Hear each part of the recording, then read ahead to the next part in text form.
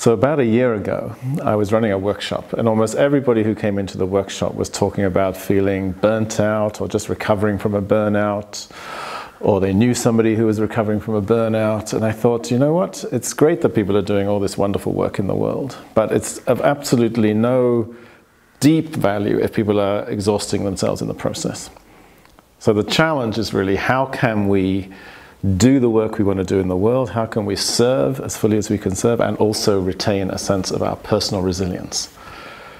So, resilience is really the opportunity to and a capacity to bounce back, to notice adversity, challenges that come our way, but to be able to meet them and not collapse under them, to build a muscle that enables us to bounce back to sustain ourselves in times of hardship. And what I want to suggest is a personal resilience program, a little kind of plan. And it's based on the work of the Greek philosopher Empedocles, who in the 6th century BC said that the world around us is made up of four elements earth, air, water, and fire. And as without, so within. So we are also made up of four elements earth, air, water, fire.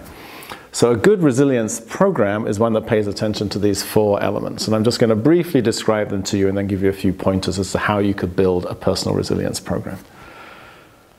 So the earth element, the earth body, if you like, is our physical nature. It's this. It's the vehicle which, through which we do all of our work in the world. And we want to pay attention to that. We want to nourish it well, we want to exercise it well, we want to look at what diet we consume, and we also want to look at the physicality of our work. So, how do I also use my voice? How do I approach things? How do I use the physicality of my being in the world? And how can I make that as resilient as I can? The water represents our mind, our thinking, our clarity, our mental dexterity. So, how, how is my thinking? Am I clear? Am I bright? Am I sharp? Am I focused? Or am I dull and foggy and muddled in my thoughts? The water represents the flow of emotion.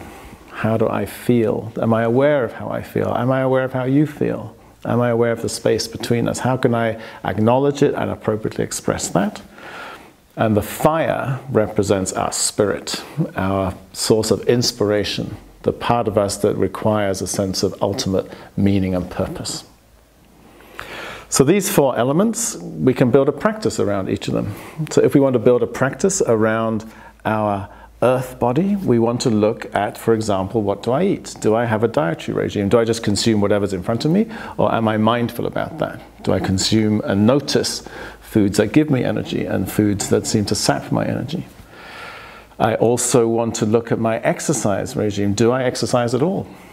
Do, am I just a kind of blob that doesn't really pay attention to the, this beautiful, what could be a beautiful, fine body?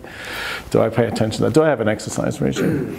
And it's also about voice. It's also about noticing that how we speak can also be a question of resilience, actually. I can speak like this in a monotone, and by the time I finish my sentence, you may well have given up the will to live. And I might also. Or I can speak with some animation and consciously give my voice some muscle and some flexibility. And that might require exercising in the shower and singing songs and noticing when it's good to be a bit quieter. And when is it good to ramp it up and give it a bit of energy? Can I even do that? Paying attention to all that is paying attention to the earth. And building a practice that enables me to do that will build my physical resilience. Then I want to look at the air body, the mind. Do I exercise my brain? Do I do Sudoku or crosswords or brain teasers? Could I take up learning a new language? Could I, for example, study a new subject or read non-fiction books and learn some, something new, uh, consume, if you like, some new knowledge, some new information? Can I memorize five facts in a day? Can I keep my mind awake and alive? Then I want to pay attention to the water, to the emotions. Do I know how I feel? Maybe I want to pause every hour and just notice how I feel. Am I the kind of person who had a feeling once, didn't much like it, definitely doesn't want to have another one, doesn't really want to be around anybody else who's having emotions, in which case the water in me is a bit dried up. But can I make space for what I feel? Can I notice what I feel? Or am I somebody who, somebody says to me, How do you feel? I say, I feel like a drink, which is not really a feeling. So I might want to cultivate a practice of noticing how I feel. Maybe I want to do journaling at the end of the day and notice how I felt through the day. Maybe I want to cultivate some kind of reflective practice. Something that enables me to notice how I feel and then be emotionally intelligent with how I acknowledge and express that. Because if I don't, emotions are going to get locked in my body. It's going to give me stress and tension and headaches and backaches and maybe worse. And that will for sure not build my resilience. And lastly, I want to pay attention to the fire, to the fire element, to the spirit, to being in places that sustain my soul, if you like. Do I spend time doing things that really nourish me on the deepest level? Perhaps I like to visit monasteries or churches. Perhaps I like to lie on the beach and gaze at the sky. Perhaps I want to look at the night sky and the stars. Perhaps I like to gaze at a sunset. Perhaps I like to read poetry. What is it that sustains my soul and spirit? So, in essence, what I'm suggesting as an action that might flow from this little video is that you start to build a personal resilience plan. It could be a weekly plan, it could be a daily plan.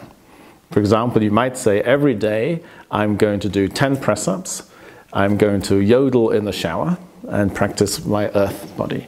I'm going to do a crossword each day and keep my mind agile. I'm going to pause at lunchtime and at dinner time and just notice how I feel and express that to somebody in an appropriate way. And I'm going to spend five minutes a day connecting with something that inspires me. That, for example, would be a personal resilience plan. So, what is it for you? My suggestion, my wish for you is that you can do the work you want to do in the world and really enjoy it and flourish and thrive into the future. And to do that, you need to build yourself a personal resilience plan.